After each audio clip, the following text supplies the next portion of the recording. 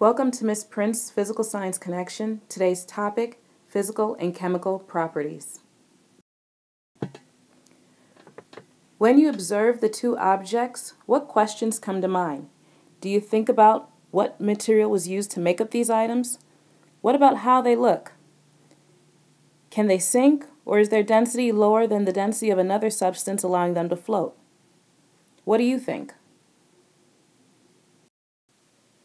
Physical properties describe the appearance of a substance or object.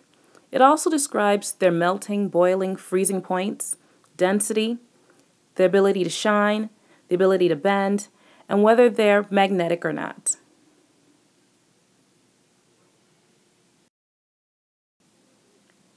Chemical properties describe changes a substance may undergo during a chemical change. It doesn't mean that the changes have already taken place. It's like Superman. You know, he has the ability to fly, but it doesn't mean that he's up in the air flying at the moment. Chemical properties tell you what can potentially happen when the substance interacts with another, but it doesn't mean that the change is taking place at that moment. So, physical properties don't change the object, they're just the characteristics that help you identify that object. Chemical properties aren't really telling you um, what that object looks like, but they're telling you the types of changes that can happen.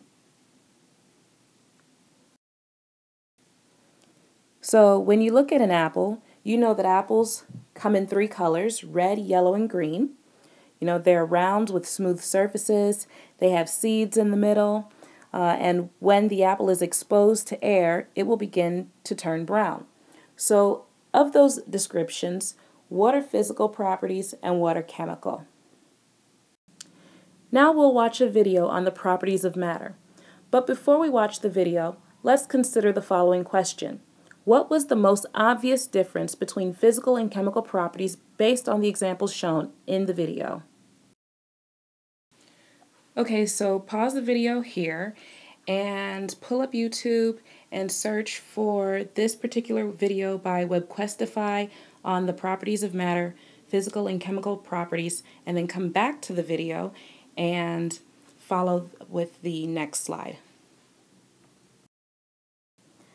Okay, so now that we've covered physical and chemical properties, let's go back to our lab notes on the banana and yeast lab and let's observe the data that we collected on the banana without these and identify its physical properties and its chemical properties.